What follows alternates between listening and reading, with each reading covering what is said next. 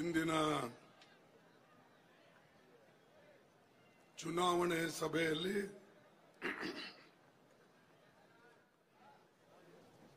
ನಮ್ಮೆಲ್ಲರನ್ನ ಉದ್ದೇಶಿಸಿ ಮಾತನಾಡಕ್ಕೆ ಆಗಮಿಸಿದಂತ ಕರ್ನಾಟಕ ರಾಜ್ಯದ ಮುಖ್ಯಮಂತ್ರಿಗಳಾದ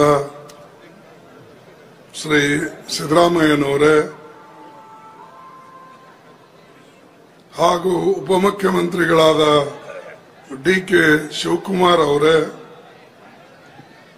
ಶರಣಬಸಪ್ಪ ದರ್ಶನಾಪುರ್ ಅವರೇ, ಪ್ರಿಯಾಂಕ್ ಖರ್ಗೆ ಅವರೇ, ಅಜಯ್ ಸಿಂಗ್, ಈಗ ತಾನೇ ನಿಮ್ಮ ಮುಂದೆ ಅನೇಕ ವಿಚಾರಗಳನ್ನು ಇಟ್ಟು ಈ ಭಾಗಕ್ಕೆ ಯಾವ ರೀತಿಯಾಗಿ ಧರ್ಮ್ ಸಿಂಗ್ ಸಾಹೇಬರು ಕೊಡುಗೆ ಕೊಟ್ಟಿದ್ದಾರೆ ಮತ್ತು ಅವರು ಕೂಡ ಯಾವ ರೀತಿಯಾಗಿ ನಿಮ್ಮ ಸೇವೆಯನ್ನು ಸಲ್ಲಿಸ್ತಾ ಇದ್ದಾರೆ, ಅದನ್ನ ದೀರ್ಘವಾಗಿ ಮಾತನಾಡಿದಂಥ ಅಜಯ್ ಸಿಂಗ್ ಅವರೇ. ನಮ್ಮ ಜಿಲ್ಲಾ ಕಾಂಗ್ರೆಸ್ ಕಮಿಟಿ ಅಧ್ಯಕ್ಷರಾದ ಜಗದೇವ್ ಗುತ್ತೇದಾರ್ ಅವರೇ, ಎಂ ಐ ಪಾಟೀಲ್ ಈಗ ತಾನೇ ಕೂತಿದ್ರು, ಅವರು ಫರುತಾಬಾದ್ನಲ್ಲಿ ಮೀಟಿಂಗ್ ಇದೆ ಅಂತ ಹೇಳಿ, ಅವರು ಮತ್ತು ನಮ್ಮ ಸೌದಿ ಅವರು ಮಾಲೀಕ ಗುತ್ತೇದಾರ್ ಅವರು ಫರುತಾಬಾದ್ಗೆ ಹೋಗಿದ್ದಾರೆ. ಅಲ್ಲಂ ಪ್ರಭಾ ಪಾಟೀಲ್ರೆ ಶರತ್ ಬಚ್ಚೇಗೌಡ್ರೆ ಅಶೋಕ್ ಮನ್ಗುಳಿ ಅವರೇ, ಯು ಬಿ ವೆಂಕಟೇಶ್ ಅವರೇ, ತಿಪ್ಪಣ್ಣ ಕಮಕ್ನೂರ್ ಅವರೇ ಹಾಗೂ ಬಾಬುರಾವ್ ಚಿಂಚನ್ಸೂರ್ ಅವರೇ ಎಲ್ ಹನುಮಂತಯ್ಯನವರೇ, ನಮ್ಮ ಹಿರಿಯ ಮುಖಂಡರು ಮತ್ತು ರಾಜ್ಯಸಭಾ ಸದಸ್ಯರಾಗಿದ್ದರು. ರೇವು ನಾಯಕರು, ಮಾಜಿ ಮಂತ್ರಿಗಳೇ, ಎಸ್. ನಾರಾಯಣ ಅವರೇ ಶರಣ, ಶರಣಪ್ಪ ಸುನ್ಗಾರ್ ಅವರೇ, ಹಾಗೂ ಜೇವರ್ಗಿ ಮತಕ್ಷೇತ್ರದ ಬ್ಲಾಕ್ ಕಾಂಗ್ರೆಸ್ ಕಮಿಟಿ ಅಧ್ಯಕ್ಷರುಗಳೇ ಮತ್ತು ಎಲ್ಲ ನಮ್ಮ ಪಕ್ಷದ ಪದಾಧಿಕಾರಿಗಳೇ, ಮುಖ್ಯಸ್ಥರೇ, ವೇದಿಕೆ ಮೇಲಿರ್ತಕ್ಕಂಥ ಎಲ್ಲ ಬಂಧುಗಳೇ, ಕೆಳಗಡೆ ಕೂತಂತ ನಮ್ಮ ತಾಯಿಂದರೇ, ಯುವ ಮಿತ್ರರೇ ಹಾಗೂ ರೈತ ಬಾಂಧವರೇ ಮತ್ತು ಪತ್ರಿಕಾ ಮಿತ್ರರೇ. ಈಗಾಗಲೇ ಬಹಳ ದೀರ್ಘವಾಗಿ ಎಲ್ಲರೂ ಮಾತನಾಡಿದ್ದಾರೆ. ನಾನು ವಿಶೇಷವಾಗಿ ಹೆಚ್ಚು ಹೇಳತಕ್ಕಂತ ಅವಶ್ಯಕತೆ ಇಲ್ಲ. ಸಿದ್ದರಾಮಯ್ಯನವರು ಕೂಡ ಈಗ ನಿಮ್ಮ ಮುಂದೆ ಮಾತನಾಡೋರಿದ್ದಾರೆ ನಾನು ಕೆಲವೇ ಕೆಲವು ಮಾತುಗಳನ್ನು ಹೇಳಿ ನನ್ನ ಮಾತು ಮೊಟಕುಗೊಳಿಸ್ತೇನೆ. ಯಾಕಂದ್ರೆ ಪುನಃ ನಾನು ಮುಂಜಾನೆ ಡೆಲ್ಲಿಗೆ ಹೋಗಬೇಕಾಗಿದೆ. ಅದಕ್ಕಾಗಿ ನಾನು ಹೆಚ್ಚು ನಿಮಗೆ ತೊಂದರೆ ಕೊಡದೆ ನಾನು ಮುಂದಿನ ಮಾತಾಡಲಿಕ್ಕೆ ಸಿದ್ದರಾಮಯ್ಯನವರಿಗೆ ಅವಕಾಶ ಮಾಡಿಕೊಡ್ತೇನೆ. ಕೇವಲ ಒಂದೆರಡು ವಿಚಾರಗಳನ್ನು ಈ ಸಂದರ್ಭದಲ್ಲಿ ಪ್ರಸ್ತಾಪ ಮಾಡ್ತೇನೆ. ಏನು ಇವತ್ತು ನಮ್ಮ ಪಕ್ಷಕ್ಕೆ ಹೆಚ್ಚಾನೆ ಹೆಚ್ಚು ಬೆಂಬಲವನ್ನ ಸಿಗ್ತಾ ಇದೆ. ಅದು ಕಾಂಗ್ರೆಸ್ ಪಕ್ಷದ ಸರ್ಕಾರದ ಏನು ಗ್ಯಾರಂಟಿ ಸ್ಕೀಮ್ಸ್ ಇವೆ? ಐದು ಗ್ಯಾರಂಟಿ ಸಿದ್ದರಾಮಯ್ಯ ಅವರ ನೇತೃತ್ವದಲ್ಲಿ ಹಾಗೂ ಶಿವಕುಮಾರ್ ಅಧ್ಯಕ್ಷತೆಯಲ್ಲಿ ಮತ್ತು ನಮ್ಮ ಕ್ಯಾಬಿನೆಟ್ ಮಂತ್ರಿಗಳು ಎಲ್ಲರೂ ಸೇರಿ ಏನ್ ನಿಮಗೆ ಐದು ಗ್ಯಾರಂಟಿ ಕೊಟ್ಟಿದಾರೋ ಆ ಗ್ಯಾರಂಟಿನೇ ನಮ್ಮ ಚುನಾವಣೆ ಗೆಲ್ಲಿಸ್ತಕ್ಕಂತ ಅಸ್ತ್ರ ಆಗ್ತದೆ ಅನ್ನತಕ್ಕಂತ ಮಾತನ್ನ ಬಹಳ ಸ್ಪಷ್ಟವಾಗಿ ಇವತ್ತು ಹೇಳ್ತೇನೆ. ಯಾಕಂದ್ರೆ ಅವರು ಕೊಟ್ಟಂತ ಗ್ಯಾರಂಟಿ, ನಮ್ಮ ಪಕ್ಷ ಕೊಟ್ಟಂತ ಗ್ಯಾರಂಟಿ ರಾಜ್ಯದಲ್ಲಿ, ಇದು ಈಗಾಗಲೇ ಅನುಷ್ಠಾನದಲ್ಲಿ ಬಂದಿದೆ. ಈಗಾಗಲೇ ಅದನ್ನ ನಾವು ಇಂಪ್ಲಿಮೆಂಟ್ ಮಾಡಿದ್ದೇವೆ. ಅದನ್ನ ಪದೇ ಪದೇ ನಮ್ಮ ಎಲ್ಲ ಮುಖಂಡರು ಕೂಡ ಹೇಳಿದ್ರು. ಅದನ್ನ ನೀವು ಕೈ ಎತ್ತಿ ಅದಕ್ಕೆ ಸ್ವಾಗತವನ್ನ ಮಾಡಿದ್ರಿ. ಅದಕ್ಕಾಗಿ ನಾನು ಹೆಚ್ಚು ಅದರ ಬಗ್ಗೆ ಒತ್ತು ಕೊಡಕ್ಕೆ ಹೋಗೋದಿಲ್ಲ. ಆದರೆ ನಾವು ಕೆಲವು ಗ್ಯಾರಂಟಿಗಳನ್ನ ನಮ್ಮ ಒಕ್ಕೂಟು, ನಮ್ಮ ಇಂಡಿಯಾ ಪಾರ್ಟಿ ಅಧಿಕಾರಕ್ಕೆ ಬಂದ್ರೆ ನೀವೇನ್ ಮಾಡ್ತೀರಿ ಅಂತ ಹೇಳಿ ಜನ ನಮಗೆ ಕೇಳಬಹುದು. ಅದಕ್ಕಾಗೆ ನಾವು ನಮ್ಮ ಪ್ರಣಾಳಿಕೆ, ನಮ್ಮ ಎಲೆಕ್ಷನ್ ಮ್ಯಾನಿಫೆಸ್ಟೋ ನಿಮ್ ಮುಂದೆ ಇದೆ. ಆ ಎಲೆಕ್ಷನ್ ಮ್ಯಾನಿಫೆಸ್ಟೋ ನಿಮಗೆ ನಾವು ಕೊಡೋದ್ರಿಂದ ಮೋದಿ ಅವರು ಸ್ವಲ್ಪ ಅವರಿಗೆ ಒಂದು ಫ್ರಸ್ಟ್ರೇಷನ್ ಬಂದಿದೆ. ಏನಪ್ಪ ಇವರು ಇಂಥ ಒಂದು ಒಳ್ಳೆ ಚುನಾವಣೆ ಮ್ಯಾನಿಫೆಸ್ಟೋ ತಂದಾರ, ಪ್ರಣಾಳಿಕೆ ತಂದಿದ್ದಾರೆ, ನಾನು ಏನ್ ಮಾಡಲಿ ಮೋದಿ ಅವರು ಸ್ವಲ್ಪ ನಿರಾಶರಾಗಿದ್ದಾರೆ. ಆಗಿ ಅವರು ಎಲ್ಲ ಬಿಟ್ಟು ಕಾಂಗ್ರೆಸ್ಗೆ ಬೇಯಕ್ಕೆ ಶುರು ಮಾಡಿದ್ದಾರೆ. ಏನೇ ಮುನ್ ಪ್ರತಿ ದಿವಸ ನೀವು ನೋಡಿ. ದೇವರ ಹೆಸರು ಎಷ್ಟು ಸಲ ತಗೊಳ್ತಾನೋ ನನಗೆ ಗೊತ್ತಿಲ್ಲ. ಆಯ್ತು, ಅವ್ರ ಮನೆಗೆ ಎಷ್ಟು ದೇವರಿದೆ ಅದನ್ನು ನನಗೆ ಗೊತ್ತಿಲ್ಲ. ಆದ್ರೆ ಕಾಂಗ್ರೆಸ್ನವ್ರಿಗೆ ಬೈಯೋದು ಮಾತ್ರ ಬಿಡಲ್ಲ. ಸೋನಿಯಾ ಗಾಂಧಿ ಅವರಿಗೆ, ರಾಹುಲ್ ಗಾಂಧಿ ಅವರಿಗೆ, ಪ್ರಿಯಾಂಕಾ ಗಾಂಧಿಗೆ ನನಗೆ ದಿನ ಏನಾರ ಒಂದು ನಮ್ಮ ಮೇಲೆ ಹೇಳೋದು. ಹೇಳಿ ಜನರಿಗೆ ಒಂಥರ ಅವ್ರ ಮನಸ್ಸಿನಲ್ಲಿ ನಮ್ಮ ಬಗ್ಗೆ ಅಸೂಯೆ ಮೂಡಿಸ್ತಕ್ಕಂಥದ್ದು, ದ್ವೇಷ ಮೂಡಿಸ್ತಕ್ಕಂಥದ್ದು, ಈ ಕೆಲಸ ಮೋದಿ ಮಾಡ್ತಾ ಇದ್ದಾರೆ. ಅಷ್ಟೇ ಅಲ್ಲ, ಧರ್ಮದ ಧರ್ಮದ ಮಧ್ಯೆ ಜಗಳ ಹಚ್ಚ ಕೆಲಸನೂ ಮಾಡ್ತಾ ಇದ್ದಾರೆ.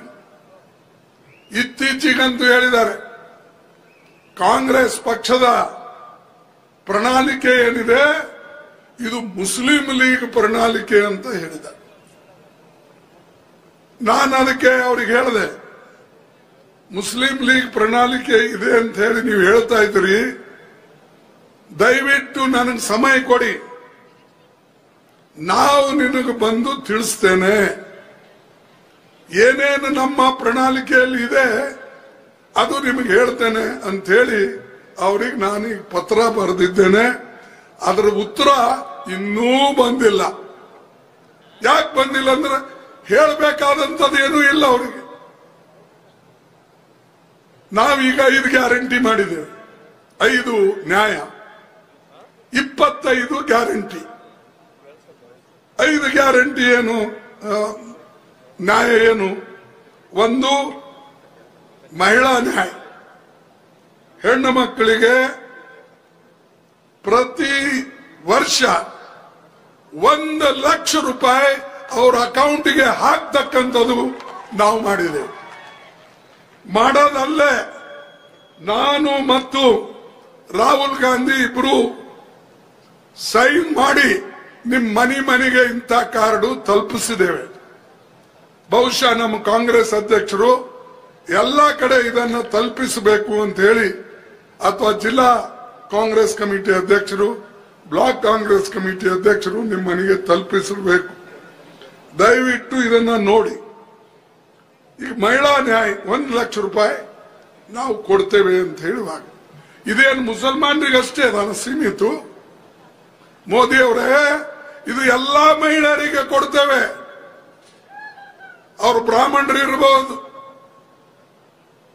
ಲಿಂಗಾಯತರು ಇರಬಹುದು ಮುಸಲ್ಮಾನರು ಇರಬಹುದು ಯಾವ ಜಾತಿಗೆ ಸೇರಿದಂತವ್ರು ಇರಲಿ, ಅವರು ಬಡವರಿದ್ದಂತ ಮಹಿಳೆಯರಿಗೆ ಅವ್ರ ಮನೆಗೆ ಯಾರು ಯಜಮಾನಿಕೆ ಮಾಡ್ತಾರೋ ವರ್ಷಕ್ಕೆ ನಾವು ಕೊಡ್ತೇವೆ.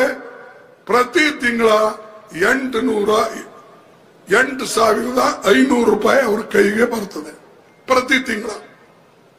ಈ ಕೆಲಸ ನಾವು ಮಾಡಿದ್ದೇವೆ. ಇದ್ರ ಮೇಲೂ ಸಿಟ್ಟ ಮೋದಿ ಅರೆ ಹೆಣ್ಮಕ್ಳು ಇಷ್ಟೊಂದು ದುಡ್ಡು ತಗೊಂಡ್ರೆ ನಮಗೆಲ್ಲಿ ಓಟ್ ಹಾಕ್ತಾರ? ಆ ಓಟಿಂಗ್ಗೋಸ್ಕರ ಮಾಡಿದ್ದಾರೆ ಅಂತ ಹೇಳಿ ಅದು ಒಂದು ಗುಲ್ಲೆಬ್ಬಿಸ್ದ ಆಮೇಲೆ ರೈತ ನ್ಯಾಯ. ರೈತರಿಗಾಗಿ ನಾವು ಹೇಳಿದೇವೆ, ನೋಡಿ ನಿಮ್ಮ ಸಾಲ ಮನ್ನಾ ನಾವು ಅಧಿಕಾರಕ್ಕೆ ಬಂದ್ರೆ ನಾವು ಸಾಲ ಮನ್ನಾ ಮಾಡ್ತೇವೆ.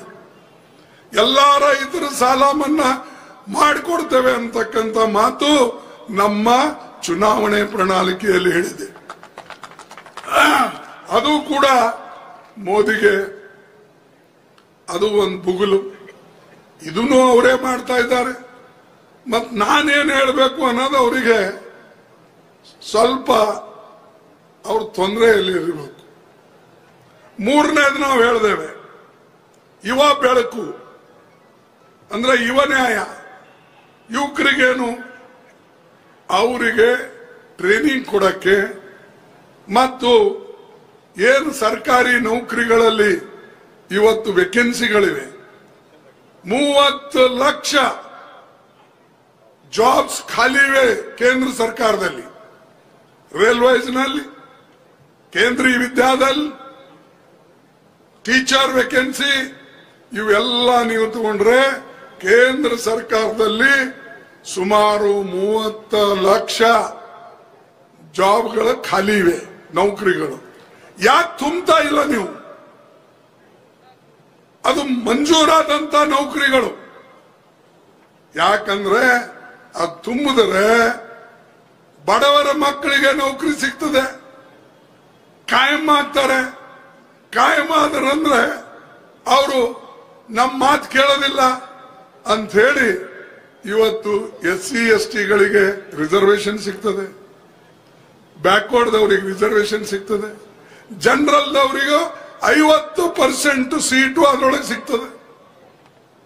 ಅದಕ್ಕೆ ಮೋದಿ ಈಗೇನ್ ಮಾಡ್ತಾನೆ ಡೈಲಿ ವೇಜ್ಗೆ ಇಲ್ಲ ಕಾಂಟ್ರಾಕ್ಟ್ ಲೇಬರ್ ಇಂಥ ಮನುಷ್ಯ ಬಡವರ ಪರ ಇಲ್ಲ. ಇವನು ಯಾವಾಗಲೂ ಶ್ರೀಮಂತರ ಪರ ಇರತಕ್ಕಂತ ವ್ಯಕ್ತಿ.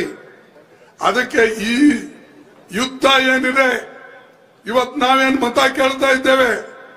ಒಂದ್ ಕಡೆ ಮೋದಿ ಇದ್ದಾರೆ, ಇನ್ನೊಂದು ಕಡೆ ಈ ದೇಶದ ಜನ ಇದ್ದಾರೆ. ಜನ ತೀರ್ಮಾನ ಮಾಡ್ತಾರೆ.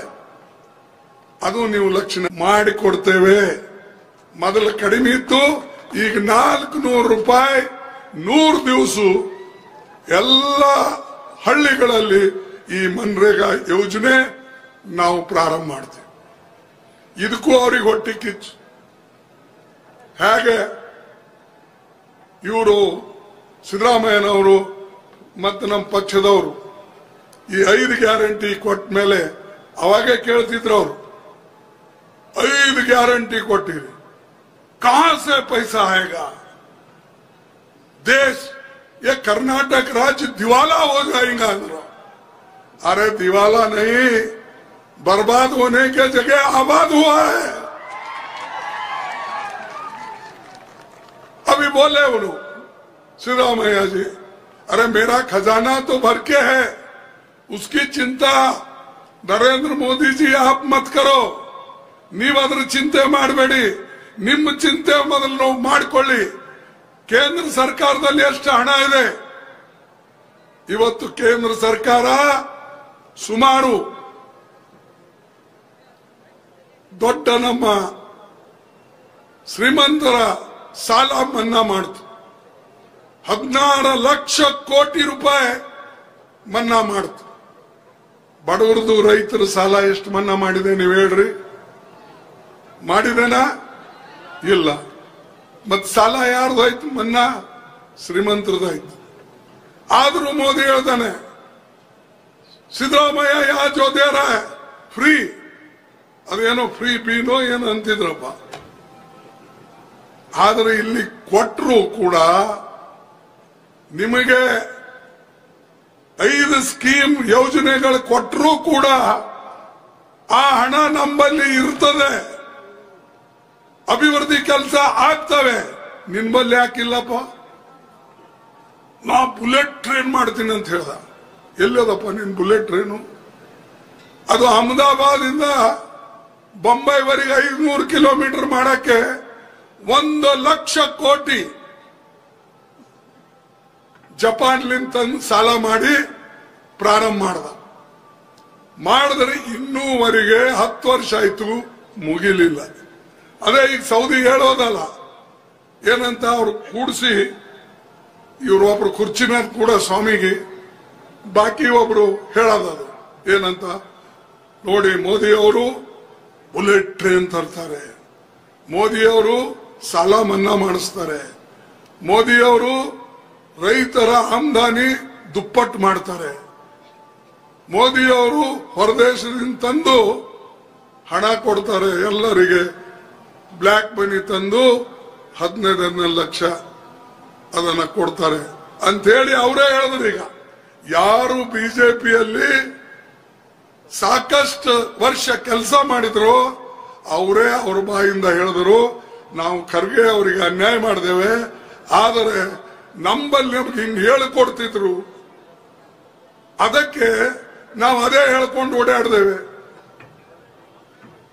ಅಂದ್ರೆ ಎಷ್ಟು ಸುಳ್ಳು ಮೋದಿ ಅವರು ಮತ್ತು ಅವರ ಜನ ಹೇಳ್ತಾರೆ ಅನ್ನೋದಕ್ಕೆ ಇದು ಒಂದು ಉದಾಹರಣೆ. ಅವ್ರ ಬಾಯಿಂದನೇ ನೀವು ಕೇಳಿರಿ.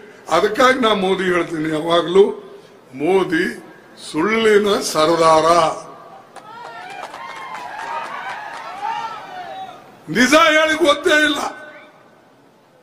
ಅದಕ್ಕೆ ಇವತ್ತು ಏನ್ ಗ್ಯಾರಂಟಿ ಏನಪ್ಪಾ ಅಂದ್ರೆ, ಈ ನಮ್ಮ ಕಾಂಗ್ರೆಸ್ ಪಕ್ಷದ ಗ್ಯಾರಂಟಿ ನಿಮಗೆ ಸಿಕ್ಕಿದೆ. ಅವ್ರ ಗ್ಯಾರಂಟಿ ಏನ್ ಸಿಕ್ಕಿದೆ ನಿಮಗೆ? ಏನಿಲ್ಲ. ಸುಳ್ಳಾಡ ಗ್ಯಾರಂಟಿ ಮಾತ್ರ ಅವ್ರ ಹತ್ರ ಇದೆ. ಅದಕ್ಕೆ ನೀವು ಬಹಳ ಹುಷಾರಾಗಿರ್ಬೇಕು. ಆಮೇಲೆ ಜಾತಿ ಗಣತಿ ನಾವು ಮಾಡ್ತೇವೆ. ಯಾಕೆ ಮಾಡ್ತೇವೆ? ಯಾರಿಂದ ಕಿತ್ಕೊಂಡು ಯಾರಿಗೆ ಕೊಡಕಲ್ಲ ಎಷ್ಟರ ಮಟ್ಟಿಗೆ ಈ ದೇಶ ಅಭಿವೃದ್ಧಿ ಹೊಂದಿದೆ? ಎಷ್ಟರ ಮಟ್ಟಿಗೆ ನಮ್ಮ ಜನ ವಿದ್ಯಾವಂತರಾಗಿದ್ದಾರೆ? ಎಷ್ಟರ ಮಟ್ಟಿಗೆ ನಮ್ಮಲ್ಲಿ ಇಂಜಿನಿಯರ್ಸ್ ಆಗಿದ್ದಾರೆ? ಎಷ್ಟರ ಮಟ್ಟಿಗೆ ಡಾಕ್ಟರ್ಸ್ ಆಗಿದ್ದಾರೆ, ಎಷ್ಟರ ಮಟ್ಟಿಗೆ ಅವ್ರ ಬಲ್ಲಿ ಇವತ್ತು ಆಸ್ತಿ ಜಮೀನು ಇದೆ ಅಂತ ಹೇಳಿ ತಿಳ್ಕೊಂಡು ಮುಂದಿನ ಕಾರ್ಯಕ್ರಮಗಳು ಹಾಕಬೇಕು ಅಂತ ಹೇಳಿ ಈ ಜಾತಿ ಜನಗಣನೆ ಮಾಡ್ಲತ್ತಾರೆ ಹೊರತಾಗಿ ಒಂದು ಜಾತಿ ಮೇಲೆ ಇನ್ನೊಂದು ಜಾತಿ ಕೂಡ್ಸಕ್ಕಲ್ಲ. ಅಥವಾ ಒಂದ್ ಧರ್ಮದವ್ರಿಗೆ ಇನ್ನೊಂದು ಧರ್ಮದ ಮೇಲೆ ಕೂಡಿಸ್ಲಕ್ಕಲ್ಲ. ಆ ಕೆಲಸ ನಿಮಗ್ ಬಿಟ್ಟಿದ್ದು. ನಿಮಗೋಸ್ಕರ ಅದು. ನಮಗೋಸ್ಕರ ಏನು ಜನರ ಮುಖ್ಯ. ಜನರಿಗೆ ಏನ್ ಮಾಡಬೇಕು? ಅದನ್ನ ನಾವು ತಿಳ್ಕೊಂಡು ಮಾಡ್ತೇವೆ. ಜವಾಹರ್ಲಾಲ್ ನೆಹರು ಅದೇ ಕೆಲಸ ಮಾಡಿದ್ರು. ಪಂಚವಾರ್ಷಿಕ ಯೋಜನೆಗಳು ಮಾಡಿದ್ರು. ದೊಡ್ಡ ದೊಡ್ಡ ಡ್ಯಾಮ್ ಕಡಿದ್ರು.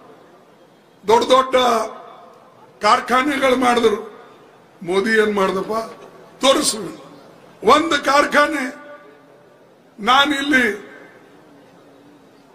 ಯಾದಗಿರದಲ್ಲಿ ರಾಯಚೂರು ಮತ್ತು ಯಾದಗಿರಿ ಮಧ್ಯದಲ್ಲಿ ಒಂದು ಬೋಗಿ ಫ್ಯಾಕ್ಟ್ರಿ ಸ್ಟಾರ್ಟ್ ಮಾಡಿಸಿದೆ. ಅದಕ್ಕೆ ಈಗ ಇಲ್ಲಿ, ಅಲ್ಲಿ ಎರಡು ಸಾವಿರ ಜನ ಕೆಲಸ ಮಾಡಬೇಕಾಗಿತ್ತು. ಸುಮಾರು ಅಲ್ಲಿ ಹತ್ತು ಸಾವಿರ ಕೋಟಿ ರೂಪಾಯಿ ಬಂಡವಾಳ ಹೂಡಬೇಕಾಗಿತ್ತು ಹೂಡ್ಲಿಲ್ಲ, ದುಡ್ಡು ಕೊಡ್ಲಿಲ್ಲ, ಅದು ಎಲ್ಲಿದೆ? ಅಷ್ಟೇ ಒಂದು ಇನ್ನೂರು ಮುನ್ನೂರು ಜನ ಕೆಲಸ ಮಾಡಿದ. ಇದು ಮೋದಿ ಮೋದಿ ಯಾಕೆ ಇದು ಮಾಡಿದನಂದ್ರೆ ಯಾವುದೇ ಒಂದು ಡೆವಲಪ್ಮೆಂಟ್ ಕೆಲಸ ಕರ್ನಾಟಕದಲ್ಲಿ ಆಗಬಾರ್ದು, ಗುಲ್ಬರ್ಗದಲ್ಲಿ ಆಗಬಾರ್ದು, ಅದಕ್ಕೆ ನಮಗೆ ತುಳ್ಕೊಂಡು ತುಳ್ಕೊಂಡು ಹೊಂಟಿದ್ದಾನೆ ಅಂತವ್ರಿಗೆ ಓಟ್ ಕೊಡ್ತೀರಾ ನೀವು? ಯಾರು ನಿಮಗಾಗಿ article three seventy one J ತಂದು ಕೊಟ್ರು? ಯಾರು ನಿಮಗಾಗಿ ಸೆಂಟ್ರಲ್ ಯೂನಿವರ್ಸಿಟಿ ಕೊಟ್ರು? ಯಾರು ನಿಮಗಾಗಿ ಎರಡು ನ್ಯಾಷನಲ್ ಹೈವೇ ಕೊಟ್ರು? ಯಾರು ನಿಮಗಾಗಿ ಬೋಗಿ ಫ್ಯಾಕ್ಟ್ರಿ ಕೊಟ್ರು? ಯಾರು ನಿಮಗಾಗಿ ಮೂವತ್ತೇಳು ಟ್ರೈನ್ಗಳು ಕರ್ನಾಟಕದಲ್ಲಿ ಓಡಾಡ್ತಾ ಇದೆ? ಯಾರೋ ಒಬ್ರು ಹೇಳಿದ್ದು ಕೇಳಿದೆ. ಗುಲ್ಬರ್ಗ ಯಾರಿಂದ ಯಾಕೆ ಹೋಗಿಲ್ಲ ಬೆಂಗಳೂರಿಗೆ ಅಂತ. ಸ್ವಲ್ಪ ಯಾರಿಗಾದರೂ ವಿವೇಚನೆ ಇದ್ರೆ ಅವರು ಇಂಥ ಮಾತಾಡಲ್ಲ. ಗುಲ್ಬರ್ಗ ಅಲ್ಲಿಂದ ಬೆಂಗಳೂರಿಗೆ ಬಿಡಕ್ಕೆ ಯಾಕೆ ಆಗ್ಲಿಲ್ಲ ಅಂದ್ರೆ ಶೋಲಾಪುರದಲ್ಲಿ ಡಿವಿಷನ್ ಪ್ಲೇಸ್ ಇದೆ. ಗುಲ್ಬರ್ಗಾದಲ್ಲಿ ನೀರಿನ ವ್ಯವಸ್ಥೆ ಇಲ್ಲ. ಅಲ್ಲಿ ಬಿಡಬೇಕು. ಎರಡು ಕಡೆಯಿಂದ ಇಲ್ಲಿ, ಇಲ್ಲಿಂದ ಹೋಗೋದು, ಬರೋದಕ್ಕೆ ಅಲ್ಲಿ ನೀರು ಕೊಡ್ತಕ್ಕಂಥ ವ್ಯವಸ್ಥೆ ಇಲ್ಲ. ಅದಕ್ಕಾಗಿ ನಾವೇನ್ ಮಾಡಿದೇವೆ ಇಲ್ಲ, ವಾಡಿಯಿಂದ ಬಿಡಬೇಕಾಗಿತ್ತು ಜಂಕ್ಷನ್ಲಿಂದ ಇಲ್ಲ, ಶೋಲಾಪುರ ಜಂಕ್ಷನ್ಲಿಂದ ಬಿಡಬೇಕಾಗಿತ್ತು. ವಾಡಿಯಿಂದ ಬಿಟ್ರೆ ಕಲಬುರಗಿ ಹೋಗ್ತದೆ. ಯಾಕಂದ್ರೆ ಆ ಕಡೆದ ಕಡೆ ಹೋಗ್ತವೆ. ಅದಕ್ಕೆ ನಾವು ಸೋಲಾಪುರಿಂದ ಮಾಡ್ದೇವೆ. ಸೋಲಾಪುರದಿಂದ ಮಾಡಿ ಬೆಂಗಳೂರುವರೆಗೆ ಬಿಡಕ್ಕೆ ಎಲ್ಲ ಕವರ್ ಆಗ್ತವೆ ಗಾಣಗಾಪುರ್ ಕವರ್ ಆಗ್ತದೆ. ಗುಲ್ಬರ್ಗಾ ಕವರ್ ಆಗ್ತದೆ. ವಾಡಿ ಕವರ್ ಆಗ್ತದೆ. ಇದು ಪೂರ್ತಿ ಬೆಂಗಳೂರು ತನ ಅದು ಯಾರಿಗೆ ವಿವೇಕ್ ಇದೆ, ಅವ್ರಿಗೆ ಅರ್ಥ ಆಗ್ತದೆ. ಈಗ ನಾವು ಬೀದರಿಂದ ಮಾಡಿಕೊಟ್ಟೆವು ಬೆಂಗಳೂರಿಗೆ. ಯಾರು ನಮ್ಗೆ ಹೇಳಿದ್ರ ಯಾರು ಕೇಳಿದ್ರ? ಇಲ್ಲ. ನಾವು ಮಾಡಿಕೊಟ್ಟೇವೆ. ನಾನು ಜನ ಬೇಕ್ರಿ ಹೊರತಾಗಿ. ಅದು ಎಲ್ಲಿಂದ ಹೋಗ್ತದೋ, ಯಾವ ಕಡೆ ಹೋಗ್ತದೋ, ಅದು ನನಗೇನು ಗೊತ್ತಿಲ್ಲ.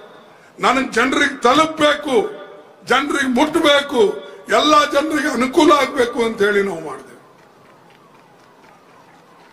ಬೀದರಿಂದ ಜವರ್ಗಿವರೆಗೆ ನ್ಯಾಷನಲ್ ಹೈವೇ. ಜವರ್ಗಿಲಿಂದ ಮುಂದೆ ನ್ಯಾಷನಲ್ ಹೈವೇ ಇಲ್ಲ. ಅದನ್ನ ಪುನಃ ನಮ್ಮ ಸರ್ಕಾರದಲ್ಲಿ ಜೇವರ್ಗಿಲಿಂದ ಪುನಃ ಶ್ರೀರಂಗಪಟ್ಟಣವರೆಗೆ ನ್ಯಾಷನಲ್ ಹೈವೇ ಡಿಕ್ಲೇರ್ ಮಾಡಿಸಿ ಈಗ ಅದು ನ್ಯಾಷನಲ್ ಹೈವೇ ಆಗಿದೆ. ಮೊದಲು ಬರೇ Bidar to Jevargi Jevargi to Bijapur Bijapur to Sankeshwar. ಅರ್ಥ ಮಾಡ್ಕೊಳ್ಳೋದಿಲ್ಲ ಜನ, ತಿಳ್ಕೊಳ್ಳೋದು ಇಲ್ಲ. ಇವೆಲ್ಲ ಕೆಲಸ ನಾವು ಜನರಿಗಾಗಿ ಮಾಡಿದೆ. ಹೊರತಾಗಿ ಯಾರಿಗೋ ಇದನ್ನ ಅವರಿಗೆ ನಮ್ಮ ಕಡೆ ಮತ ಸೆಳಿಬೇಕು ಅಂತೇನಿಲ್ಲ ಮತ ಸೆಳಿಬೇಕು ಅದಕ್ಕೆ ನಾ ಎಂದು ಮಹತ್ವ ಕೊಟ್ಟೇ ಇಲ್ಲ. ಜನ ಕೆಲಸ ಮಾಡಿದ್ರೆ ಓಟ್ ಕೊಡ್ತಾರೆ, ಇದು ನನ್ನ ನಂಬಿಕೆ. ನೀವು ನ್ಯಾಯವಾಗಿ ನಿಮ್ಮ ಜೀವನದಲ್ಲಿ ಕೆಲಸ ಮಾಡಿದ್ರೆ ಜನ ನಮಗೆ ನಂಬುತ್ತಾರೆ, ಇದು ನನ್ನ ನಂಬಿಕೆ. ನಾನು ಅದು ಮಾಡ್ಕೋತ ಬಂದೀನಿ ಅಂತ ಹೇಳಿ ನನಗೆ ಜನ ಸತತವಾಗಿ ನಲವತ್ತೊಂಬತ್ತು ವರ್ಷ ಆರಿಸಿ ತಂದರು. ಸುಳ್ಳು ಹೇಳೋರಿಗೇನಿದೆ? ಅದನ್ನ ಪುನಃ ಮೋದಿ ಪದೇ ಪದೇ ಮೇರಿ ಗ್ಯಾರಂಟಿ, ಮೇರಿ ಓ ಇದು ಹೇಳ್ಕೊತ ಹೋಗ್ತಾನೆ. ಹೋಗ್ಲಿ ಪಾಪ, ಅವನು ಏನೇನು ಹೇಳಿದಾನೆ ಒಂದು ಆಗಲಿಲ್ಲ. ನಾ ಇನ್ಕಮ್ ಡಬಲ್ ಆಗಲಿಲ್ಲ. ನಾ ಎರಡು ಕೋಟಿ ನೌಕರಿ ಸಿಗಲಿಲ್ಲ. ಹದಿನೈದು ಲಕ್ಷ ಸಿಗಲಿಲ್ಲ. ಫರ್ಟಿಲೈಸರು ಅದು, ಅಮೋನಿಯಂ, ಇಂಥವೆಲ್ಲ ಏನ್ ರೈತರಿಗೆ ಬೇಕಾಗಿತ್ತು ಅದು ಕಡಿಮೆ ಮಾಡಲಿಲ್ಲ. ಟ್ರ್ಯಾಕ್ಟರ್ ಮ್ಯಾಗ ಜಿ ಎಸ್ ಟಿ ಹಾಕದ ಅದು ಕಡಿಮೆ ಮಾಡಲಿಲ್ಲ. ಡೀಸೆಲ್ ಕಡಿಮೆ ಆಗಲಿಲ್ಲ. ಫರ್ಟಿಲೈಸರ್ ಬೆಲೆ ಕಡಿಮೆ ಆಗಲಿಲ್ಲ. ಅದಕ್ಕೆ ಐದು ಐದು ಪರ್ಸೆಂಟ್ ಹಾಕ್ಬಿಟ್ಟ. ಕೆಟ್ಟದೇ ಮಾಡಿದ ರೈತರಿಗೆ ಹೊರತಾಗಿ ಒಳ್ಳೇದು ಮಾಡಿಲ್ಲ. ಅದಕ್ಕೆ ಬಂಧುಗಳೇ, ನಾನು ಹೆಚ್ಚು ನಿಮ್ಮ ಮುಂದೆ ಹೇಳಿದೆ, ಇಷ್ಟು ಮಾತ್ರ ಇವತ್ತಿನ ದಿವಸ ನಿಮ್ಗೆ ಹೇಳಕ್ಕೆ ಇಚ್ಛೆ ಪಡ್ತೇನೆ. ನಮ್ಮ ಸರ್ಕಾರ, ನಮ್ಮ ಅಲಯನ್ಸ್ ಪಾರ್ಟಿ, ನಾವು ಸುಮಾರು ಇಪ್ಪತ್ತಾರು ಪಾರ್ಟಿಗಳ ಕೂಡಿ ಹೋರಾಟವನ್ನು ಮಾಡ್ತಾ ಇದ್ದೇವೆ. ಅದಕ್ಕೆ ಯಾವಾಗಲೂ ಮೋದಿ ಅವರು ಹಂಗಿಸ್ತಾರೆ. ಅವ್ರ ಬಲ್ಲಿ ಯಾರು ಲೀಡರ್ ಅದ ಯಾರು ಇದು ಇದ್ದಾರೆ? ನಾನು ಇಲ್ಲಿದ್ದೇನೆ. ಮೋದಿ ಹೇ ತೋ ಮುಮ್ಕಿನ್ ಹೇ. ಮೋದಿ ಯಾ ಹೇ ಅಂತಾನೆ. ಮೇರಿ ಚಪ್ಪನ್ ಇಂಚಿ ಛಾತಿ ಹೇ ಅಂತಾನೆ. ಅರೆ ಚಪ್ಪನ್ ಇಂಚಿ ಛಾತಿ ತಗೊಂಡು ಏನ್ ಮಾಡೋದಪ್ಪ? ನಾವು ಟೇಲರ್ ಬಲ್ ಒಯ್ಬೇಕಾ ನಿನ್ಗ? ಎಷ್ಟು ಇಂಚು ಜನ ನೀನು ದೇಶಕ್ಕಾಗಿ ಏನ್ ಮಾಡಿದ್ದೆ ಅದು ಮೊದಲು ಹೇಳು. ರೈತರಿಗಾಗಿ ಏನ್ ಮಾಡಿದ್ದೆ ಅದು ಹೇಳು. S C P schedule caste ಬಗ್ಗೆ ಬಹಳ ಮಾತಾಡ್ತಾನೆ ಇತ್ತೀಚೆಗೆ. ಇಲ್ಲಿ ನಮ್ಮ ಸರ್ಕಾರ ಇದ್ದಾಗ ಆಂಧ್ರದಲ್ಲಿ ನಾವು ಎಸ್ ಸಿ ಪಿ ಒಂದು ಕಾನೂನು ತಂದು ಈ ಎಸ್ ಸಿ ಎಸ್ ಟಿಗಳಿಗೆ ಅವರ ಅವರ ಸಂಖ್ಯಾಬಲದ ಮೇಲೆ ನಾವು ಅಥವಾ ಬಜೆಟಿನ ಆಧಾರದ ಮೇಲೆ ನಾವು ಒಂದು ಕಾನೂನು ತಂದು ಅಲ್ಲಿ ಅವರಿಗಾಗಿ ನಾವು ಅನುಷ್ಠಾನದಲ್ಲಿ ತಂದೇವೆ. ಕರ್ನಾಟಕದಲ್ಲಿ ಸಿದ್ದರಾಮಯ್ಯನವರ ನೇತೃತ್ವದಲ್ಲಿ ಇಲ್ಲೂ ಕೂಡ ಇವತ್ತು ನಾವು S C P, S T P, ಅಂದ್ರೆ ಎಸ್ ಟಿಗಳಿಗೆ ಎಸ್ ಎಸ್ ಸಿಗಳಿಗೆ ಯಾವ ರೀತಿಯಾಗಿ ಆಂಧ್ರ ಕಡೆ, ಬೇರೆ ಕಡೆ ಕೊಟ್ಟಿದ್ದಾರೋ ಅದೇ ರೀತಿಯಾಗಿ ಎರಡನೇ ಸ್ಥಾನ ಕರ್ನಾಟಕ ನಾವು ಕೊಡ್ತಾ ಇದ್ದೇವೆ. ಎಸ್ ಸಿ ಪಿ ಅಲ್ಲ? S C P. ಇದು ನಾವು ಕೊಡ್ತಾ ಇದ್ದೇವೆ. ಅದನ್ನೇ ಮೋದಿಗೆ ನಾನು ಇದು ಕಿವಿ ಮಾತು ಹೇಳ್ತೇನೆ. ನಿನಗೇನಾದ್ರೂ ಕಳಕಳಿ ಇದ್ರೆ ನಿಮ್ಮ ಬಿಜೆಪಿ ಸರ್ಕಾರಗಳೇ ನೀವೇ ದೇಶದಾಗ. ಅವರೆಲ್ಲರಿಗೆ ಹೇಳಿ, ನೋಡಿ ಸಿದ್ದರಾಮಯ್ಯ ಯಾವ ರೀತಿಯಾಗಿ ಎಸ್ ಸಿ ಪಿ ಮಾಡಿದನೋ, ಎಸ್ ಟಿ ಪಿ ಮಾಡಿದನೋ, ಅದೇ ರೀತಿಯಾಗಿ ನೀವು ಮಾಡಿ ಅಂತ ಹೇಳಿ ಯಾವ ರೀತಿಯಾಗಿ ತೆಲಂಗಾಣದಲ್ಲಿದೆ ಆಂಧ್ರದಾಗಿದೆ. ಆ ರೀತಿಯಾಗಿ ಮಾಡಿ ಅಂತ ಹೇಳಿ ಹಾಗೆ ಮಾಡೋ ಧೈರ್ಯ ಇಲ್ಲ. ಹೇಡಿಗಳು ನಮಗೆ ಹೇಳ್ತಾರೆ, ನೀವೇನ್ ಮಾಡಿರಿ? ನೀವೇನ್ ಮಾಡಿರಿ? ನಾವೆಲ್ಲ ಟೀಕೆ ಮಾಡಕ್ ಶುರು ಮಾಡಿದ್ಮೇಲೆ ಈಗ ಆ ಮುರ್ಮಾ ಅವರಿಗೆ ಪಾಪ ನಿನ್ನೇನು ಇನ್ವಿಟೇಷನ್ ಕೊಟ್ಟು ಇವತ್ತು ಹೋಗ್ಯಾರೇನು ಅಯೋಧ್ಯಕ್ಕೆ, ಇಲ್ಲ? ಅಯೋಧ್ಯಕ್ಕೆ ಇವತ್ತು ಸ್ವಾಗತ ಮಾಡ್ಲತ್ತಾರೆ. ಇಂಥ ಮೋದಿ ಮೋದಿ ಇವತ್ತು ಜನರ ಕಲ್ಯಾಣಕ್ಕಾಗಿ ಪ್ರೈಮ್ ಮಿನಿಸ್ಟರ್ ಆದವನಲ್ಲ. ಇವನು ಕೇವಲ ಆರ್ ಎಸ್ ಎಸ್ ದವರ ಮಾತು ಕೇಳಿ ಶ್ರೀಮಂತರ ಹೊಟ್ಟೆ ತುಂಬಿಸಕ್ಕೆ, ಶ್ರೀಮಂತರಿಗೆ ಲೂಟಿ ಮಾಡಿಸಕ್ಕೆ, ಬಡವರಿಗೆ ಶೋಷಣೆ ಮಾಡಕ್ಕೆ ಇವತ್ತು ಮೋದಿ ಪ್ರೈಮ್ ಮಿನಿಸ್ಟರ್ ಆಗಿದ್ದಾನೆ ಹೊರತಾಗಿ ಬಡವರ ಬಗ್ಗೆ ಕಾಳಜಿ ಇಲ್ಲ. ಅವನು ಬಡವರ ಬಗ್ಗೆ ಯಾವ ಮಾತು ಬಡವರದು ಕೇಳೋದಿಲ್ಲ. ಹೇಳೋದೊಂದೇ ಭಯೋ ಅವ್ರ ಭಯನು, ಮೇರೆ ಪರಿವಾರ ವಾಲೆ. ಈ ಹೊಸದಾಗ ಒಂದು ಹೇಳ್ತಾನೆ, ಮೇರೆ ಪರಿವಾರ ವಾಲೆ. ಪರಿವಾರ ವಾಲೆ, ಎಲ್ಲರಿಗೂ ಪರಿವಾರ ವಾಲರಿ ಅಂತಾನೆ.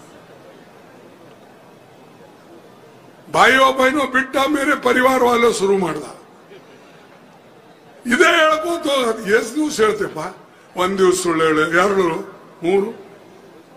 ನೂರಾರು ಸುಳ್ಳು ಹೇಳ್ತಾನೆ. ಅದಕ್ಕಾಗಿ ನಾನು ಯಾವಾಗಲೂ ಅವರಿಗೆ ಹೇಳ್ತೀನಿ, ಮೋದಿ ಅವರೇ, ನೀವು ಸುಳ್ಳ, ಸುಳ್ಳಿನ ಸರದಾರರು.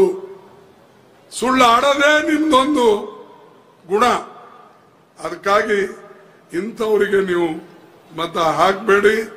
ಕಾಂಗ್ರೆಸ್ ಪಾರ್ಟಿ ಹಸ್ತದ ಗುರುತಿಗೆ ನಿಮ್ಮ ಮತ ಹಾಕಬೇಕು. ಬೇರೆಯವರಿಗೆ ನೀವು ಹೇಳಬೇಕು. ಹಳ್ಳಿ ಹಳ್ಳಿ ಹೋಗ್ಬೇಕು, ಇದು ತಿಳಿಸಿ ಹೇಳಬೇಕು. ಇದು ನಮ್ಮೊಬ್ಬರ ಪ್ರಶ್ನೆ ಅಲ್ಲ. ಯಾರೋ ಒಬ್ಬರು ಎಂ ಪಿ ಆಗ್ತಾರಂತ ನಿಮ್ಗೆ ಹೇಳ್ತಾ ಇಲ್ಲ. ನೀವು ಕಾಂಗ್ರೆಸ್ ಪಾರ್ಟಿಗೆ ಅಧಿಕಾರಕ್ಕೆ ತಂದ್ರೆ ಈ ದೇಶದ ಸಂವಿಧಾನ ಉಳಿತದೆ. ಡಾಕ್ಟರ್ ಬಾಬಾ ಸಾಹೇಬ್ ಅಂಬೇಡ್ಕರ್ ಬರೆದಂತ ಸಂವಿಧಾನ ಇರ್ತದೆ. ಪ್ರಜಾಪ್ರಭುತ್ವ ಇರ್ತದೆ. ನೀವು ಒಂದು ವೇಳೆ ಇದನ್ನ ನೀವು ನಿರ್ಲಕ್ಷ್ಯ ಮಾಡಿ ನಿಮ್ಮ ಮತಗಳನ್ನ ಕೆಡಿಸಿದ್ರೆ ನಮ್ಮ ಸಂವಿಧಾನ ಹಾಳಾಗಿ ಹೋಗ್ತದೆ ನಮ್ಮ ಪ್ರಜಾಪ್ರಭುತ್ವ ಹಾಳಾಗಿ ಹೋಗ್ತದೆ ಅದಕ್ಕೆ ಕೈ ಜೋಡಿಸಿ ನಿಮಗೆ ಕೇಳ್ಕೊಳ್ತೇನೆ. ಯಾರು ಗೆದ್ದು ಬರ್ತಾರೋ, ಸೋಲ್ತಾರೋ, ಬೇರೆ ವಿಚಾರ. ಆದರೆ ಕಾಂಗ್ರೆಸ್ ಪಾರ್ಟಿ ಗೆದ್ದು ಬಂದರೆ ನಿಮ್ಮೆಲ್ಲರಿಗೆ ಅನುಕೂಲ ಆಗ್ತದೆ. ಈ ದೇಶದಲ್ಲಿ ಪ್ರಜಾಪ್ರಭುತ್ವ ಉಳಿತದೆ, ಸಂವಿಧಾನ ಉಳಿತದೆ. ಅದಕ್ಕಾಗಿ ನಿಮಗೆ ನಾನು ಈ ಮಾತನ್ನ ಹೇಳ್ತಾ ಇದ್ದೀನಿ. ಅದಕ್ಕಿನ್ನು ಹೆಚ್ಚು ಹೇಳದೆ, ದಯವಿಟ್ಟು ಈ ಕಡೆ ಲಕ್ಷ್ಯ ಕೊಟ್ಟು ನೀವು ಆರಿಸಿ ತರಬೇಕು ಅಂತಕ್ಕಂಥ ಮಾತನ್ನ ಹೇಳಿ ನನ್ನ ನಾಲ್ಕು ಮಾತು ಮುಗಿಸ್ತೇನೆ. ಮತ್ತು ಒಂದೇ ಒಂದು ನಿಮಗೆ ಕೊನೆ ಸ್ಲೋಗನ್ನ ಹೇಳ್ತೀನಿ. ನಾನು ಹೇಳ್ದಂಗೆ ನೀವು ಕೂಡ ಹೇಳಬೇಕು ಅಂತ ಹೇಳಿ ನಾನು ಕೇಳ್ಕೊಳ್ತೇನೆ. ನಾ ಹೇಳ್ತೀನಿ, ಮೋದಿ ಹಟಾವ್ ದೇಶ್ ಬಚಾವ್. ಮೋದಿ ಹಟಾವ್ ಯಾಕಪ್ಪ ರಾತ್ರಿ ಆದಂಗೆ ಸ್ವಲ್ಪ ಏನು ತೂಕಡಿಸ್ಲತ್ರಿ ಮೋದಿ ಹಟಾವ್ ಮೋದಿ ಹಟಾವ್ ಜೈ ಹಿಂದ್! ಸ್ವಲ್ಪ ಜೋರಾಗ ಜೈ ಹಿಂದ್! ಜೈ ಹಿಂದ್! ಜೈ ಕಾಂಗ್ರೆಸ್! ಜೈ ಕಾಂಗ್ರೆಸ್! ನಿಮ್ಮೆಲ್ಲರಿಗೆ ವಂದನೆಗಳು. ನಮಸ್ಕಾರ. ನಾವು ಏಳನೇ ತಾರೀಕು ತಾವು ಹೋಗಿ ಬೂತ್ ವಾಯ್ಸ್ ಎದುರು ನಿಂತು ನೋಡಬೇಕು. ಕೆಲವು ಜನ ಕಮಾಲ್ ಮಾಡ್ತಾರೆ ಆ ದಿವಸ. ರಾತ್ರಿನೇ ಶುರು ಕತಲ್ ರಾತ್ರಿ ಶುರು ಆಗ್ತದೆ ಅವ್ರದ್ದು ಅದಕ್ಕಾಗಿ ನೀವು ಹುಷಾರಿರ್ಬೇಕು. ಹುಷಾರಿದ್ರೆ ನೀವು ಗೆಲ್ತೀರಿ. ಇಲ್ಲಪ್ಪ, ಹುಷಾರಿಲ್ಲ ಆಗಿದ ಆಗ್ತದೆ ನೀವು ಮಲಗಿದ್ರೆ ನಿಮಗೆ ತೊಂದರೆ ಆಗ್ತದೆ. ಈ ಮಾತು ಯಾಕೆ ಹೇಳ್ತೀನಿ ಅಂದ್ರೆ ಒಂದ್ ಸಾರಿ ಡಾಕ್ಟರ್ ಬಾಬಾ ಸಾಹೇಬ್ ಅಂಬೇಡ್ಕರ್ ಅವರು ಎಕ್ಸಿಕ್ಯೂಟಿವ್ ಕೌನ್ಸಿಲ್ ಮೀಟಿಂಗ್ ಇತ್ತು ರೌಂಡ್ ಟೇಬಲ್ ಆವಾಗ ಕೆಲವು ಪತ್ರಕರ್ತರು ಆ ಹೋಟೆಲ್ನಲ್ಲಿ ಎಲ್ಲ ಕಡೆ ಅಡ್ಡಾಡ್ತಾ ಇದ್ರು. ಅಡ್ಡಾಡುವಾಗ ಎಲ್ಲರೂ ಮಲಗಿದ್ರು. ಎಲ್ಲಿಯೂ ಯಾವ ರೂಮ್ನಲ್ಲೂ ಕೂಡ ಲೈಟ್ ಇರಲಿಲ್ಲ. ಎಲ್ಲರೂ ಮಲಗ್ಯಾರಂತೆ. ಒಂದು ಕಡೆ ಒಂದು ಮೂಲೆಯಲ್ಲಿ ಅಲ್ಲಿ ಲೈಟ್ ಕಾಣ್ತಾ ಇತ್ತು. ಅವಾಗ ಈ ಪತ್ರಕರ್ತರು, ಏ, ಅಲ್ಲಿ ನೋಡಮ್ಮ ಯಾಕೋ ಒಂದು ಲೈಟ್ ಇದೆ. ಆ ರೂಮ್ನಾಗ ಯಾರೋ ಕಾಣ್ತಾರೆ, ಹೋಗಿ. ಅವ್ರು ಬಡದ್ರು. ಬಡದ ಮೇಲೆ ಡಾಕ್ಟರ್ ಅಂಬೇಡ್ಕರ್ ಓದ್ತಾ ಇದ್ರು ಇನ್ನು. ನಾಳೆ ಏನ್ ಹೇಳಬೇಕು, ನಾಳೆ ಏನ್ ಕೇಳಬೇಕು, ನಮ್ಮ ಜನರಿಗೆ ಈ ದೇಶಕ್ಕೆ ಏನ್ ಬೇಕು, ಏನ್ ಬೇಡ ಅಂತ ಹೇಳಿ ಅದ್ರ ಬಗ್ಗೆ ಅಭ್ಯಾಸ ಮಾಡ್ಕೋತ ಅವರು ರಾತ್ರಿ ಕುಳಿತಿದ್ರು. ಆವಾಗ ಕೆಲವು ಜನ ಕೇಳಿದ್ರು ಅವ್ರಿಗೆ, ಪತ್ರಕರ್ತರು, ಇಲ್ಲ, ಎಲ್ಲರೂ ಮಲಗಿದ್ದಾರೆ. ಇಷ್ಟು ರಾತ್ರಿ ಆದ್ರೂ ನೀವು ಎಚ್ಚರಿದ್ದು ಇನ್ನ ಬರಿತಾ ಇದ್ರಲ್ಲ ಆವಾಗ ಬಾಬಾ ಸಾಹೇಬ್ ಅಂಬೇಡ್ಕರ್ ಅವರು ಹೇಳ್ತಾರೆ, ಅವರು ನನ್ನ ಕೆಲಸ ಏನಂದ್ರೆ ಜನರ ಸೇವೆ ಮಾಡೋದು ಮತ್ತು ಜನರಿಗೆ ಜಾಗೃತಿ ಮಾಡೋದು. ಅವ್ರ ಜನ ಜಾಗೃತ ಇದ್ದಾರೆ. ಅದಕ್ಕೆ ಅವ್ರು ಬಂದು ಇಲ್ಲಿ ಮಲಗಿದ್ದಾರೆ. ನನ್ನ ಜನ ಜಾಗೃತಿ ಇಲ್ಲ. ನನ್ನ ಜನ ಮಲಗಿದ್ದಾರೆ. ಅವ್ರಿಗೆ ಎಪ್ಸಾಗೋಸ್ಕರ ನಾ ಎಚ್ಚರಿರ್ತೀನಿ. ನಾನು ಎಚ್ಚರಿದ್ದಿದ್ದು ಯಾಕೆ ಅಂದ್ರೆ ನಾನು ಮಲಗದಂತ ಜನರ ಪರವಾಗಿ ಹೋರಾಟ ಮಾಡಬೇಕಾಗಿದೆ. ಅವ್ರು ಮಲಗಿದವರು, ಯಾರು ಮಲಗಿದ್ದಾರೆ, ಅವ್ರ ಜನ ಎಚ್ಚರಿದ್ದಾರೆ. ಅದಕ್ಕೇನು ಅವ್ರಿಗೆ ಬೇಕಾಗಿಲ್ಲ. ನನಗೆ ಬೇಕು. ಹಾಗೆ ಈ ಓಟು, ಈ ಮತ ನಮಗ್ ಬೇಕು ಈ ಸಂವಿಧಾನ ಉಳಿಸಕ್ಕೆ. ನಮಗ್ ಬೇಕು ಈ ಪ್ರಜಾಪ್ರಭುತ್ವ ಉಳಿಸಕ್ಕೆ. ಈ ನಮಗೆ ಈ ದೇಶದ ಸ್ವಾತಂತ್ರ್ಯ ಉಳಿಸಕ್ಕೆ ಏನು ಮಹಾತ್ಮ ಗಾಂಧಿ, ಜವಾಹರ್ಲಾಲ್ ನೆಹರು, ಡಾಕ್ಟರ್ ಬಾಬಾ ಸಾಹೇಬ್ ಅಂಬೇಡ್ಕರ್ ಇವರು ಮಾಡಿದ್ದ ಮಾತನ್ನ ನಾವು ಹೇಳಿದ್ದನ್ನ ಉಳಿಸ್ಕೊಂಡು ಹೋಗ್ಬೇಕಾದ್ರೆ ಈ ಕೆಲಸ ಮಾಡಬೇಕು. ದಯವಿಟ್ಟು ಆ ಕೆಲಸ ಈ ಸಾರಿ ನೀವು ಮಾಡ್ತೀರಿ ಅಂತ ಕೇಳ್ಕೊಂಡು ನನ್ನ ಮಾತು ಮುಗಿಸ್ತೇನೆ. ಜೈ ಹಿಂದ್, ಜೈ ಕರ್ನಾಟಕ.